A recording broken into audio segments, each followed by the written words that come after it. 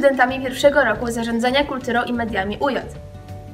a zarazem współorganizatorami piątej edycji festiwalu Polikultura 2017. W ramach festiwalu pragniemy stworzyć wydarzenie, którego celem będzie pobicie rekordu Guinnessa.